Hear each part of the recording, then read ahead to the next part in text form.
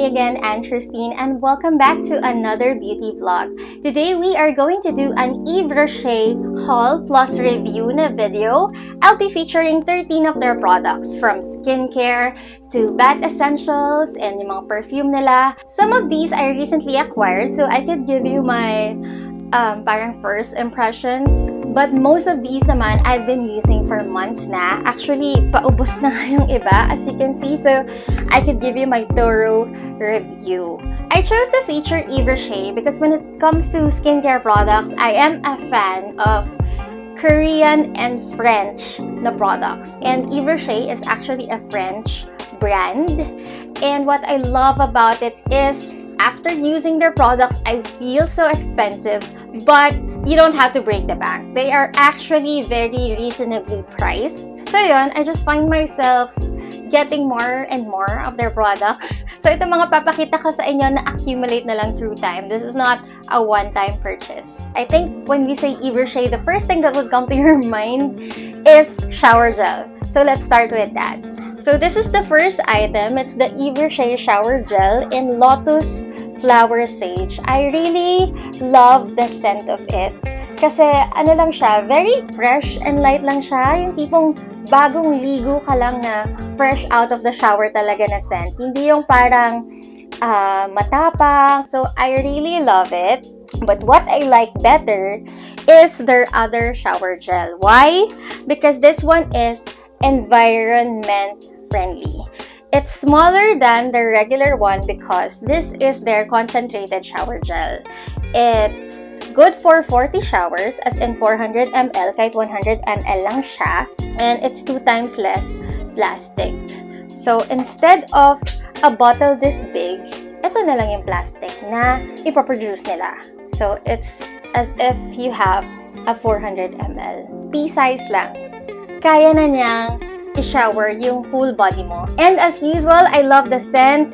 Sobrang galing ni Yves Rocher pagdating sa scent ng mga products niya.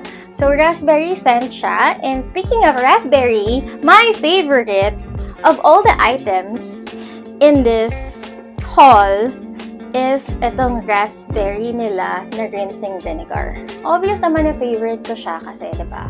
Ang konti na lang nang natitira. Done na tayo sa mga shower gel. We move on to hair care products. So this one is a rinsing vinegar. At first, sabi ko, ano ba yung rinsing vinegar? And then na-realize ko, ah, oo nga, yung iba naglalagay ng apple cider sa hair nila, di ba? To make it shiny or parang to cleanse it. So this one is a rinsing vinegar with raspberry. Sobrang gusto ko yung amoy niya. And after using it, I find my hair really shiny. Actually, today ginamit ko siya just earlier when I took a bath. Hindi ko na kailangan mag-conditioner. I just used the rinsing vinegar. And look, it's so, so shiny. Guys, hindi naka-treatment yung hair ko. It's been a while since nagpa-keratin ako ng hair. Parang 3 months na. But look, you don't have to get hair treatment. It's super, super shiny. Next, we have this Rocher Low Poo.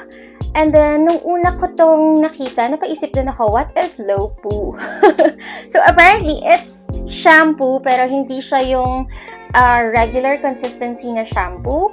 Pakita ko siya sa inyo. Although, paubos na rin siya. Konti na lang yung laman niya. Pakita ko lang sa inyo yung consistency niya. Parang pang-conditioner yung consistency niya. But it cleans really well. All their hair care products pala guys, no sulfate. So yan, makikita niya sans sulfate or sulfate free.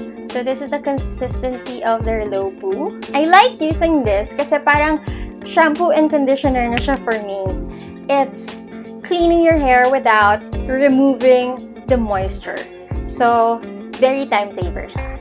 And 98% ng ingredients nito are natural. Basta pag binasa mo yung mga details ng mga products nila, talagang mapapa.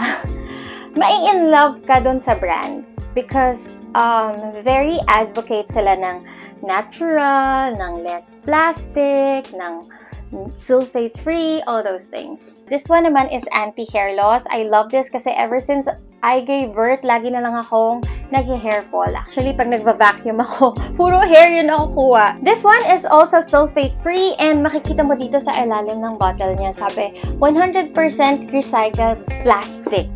'di ba? So if you love the environment, mapapasupport ka talaga.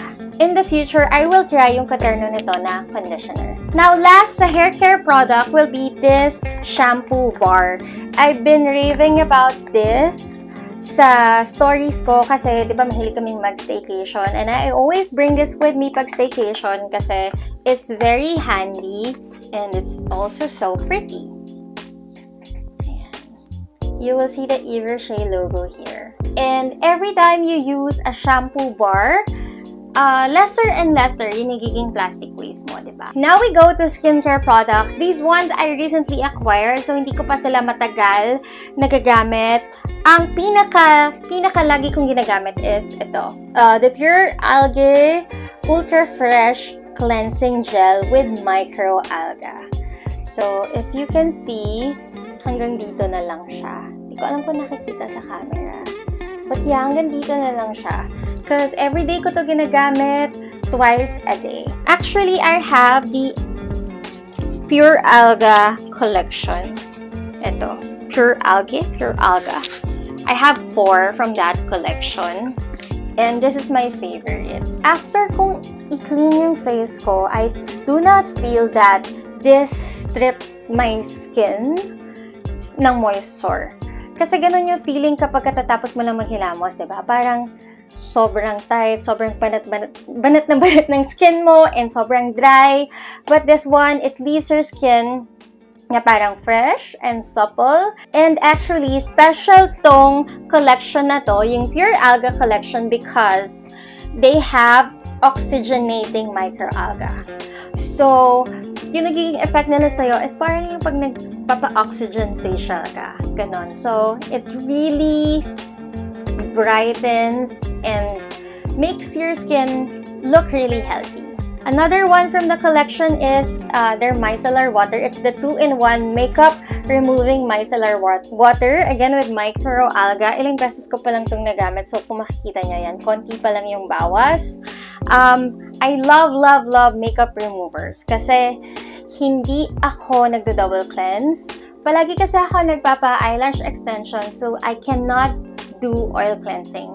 Because of that, I really have to count on uh, makeup removers. This is also a makeup remover, pero ito naman, jelly type siya.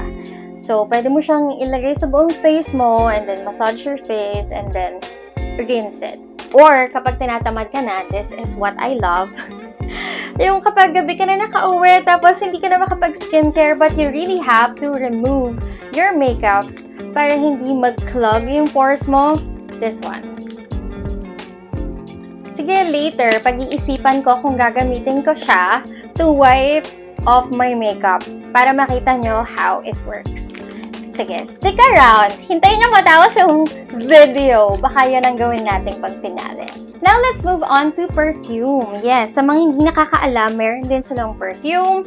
This one is uh, cherry blossom yung scent niya. I love their perfumes kasi oil-based sila. Nagtatagal talaga yung amoy nila. And pag chinek mo naman sa website, hindi sila super mahal. I only spray bago umalis ng house. You don't have to respray na while you're out kasi nga, nagtatagal yung amoy niya. The scent of this is more of is more like the Mediterranean breeze daw. So kapag naamoy mo to, it lets you on a journey na parang you are walking sa beach side and inhaling the Mediterranean breeze. Ganon sila. Kasi um, Yves Rocher, parang ang gusto nila is emotional perfume. Gusto nila na may emotions pag naaamoy mo yung perfume nila. Like, yung cherry blossoms, para ka siguro nag-travel sa Japan. And this one naman, para kang nag-travel sa Mediterranean Sea. And now we're down to the last item on our list. It's this hand cream na katerno nung perfume na pinakita ko sa inyo kanina, this one. Madalang ko lang siyang ginagamit because I'm mostly home and feeling ko ang social niya. So, parang mas bagay lang siya pag may lakad. It's a perfume hand cream. Tapos, I love its lalagyan. Para kang naka-watercolor na lalagyan. Hmm, Anyway, I told you guys earlier that let's go ahead and use their makeup removing wipes with Pure Alga to see how effective it is. And game naman ako. So, let's do it.